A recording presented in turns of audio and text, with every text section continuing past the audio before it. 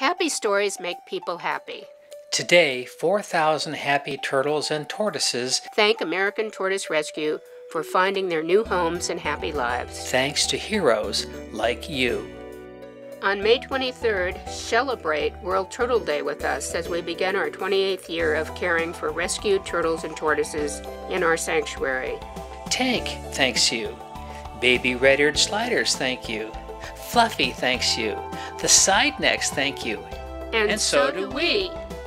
Visit American Tortoise Rescue at tortoise.com.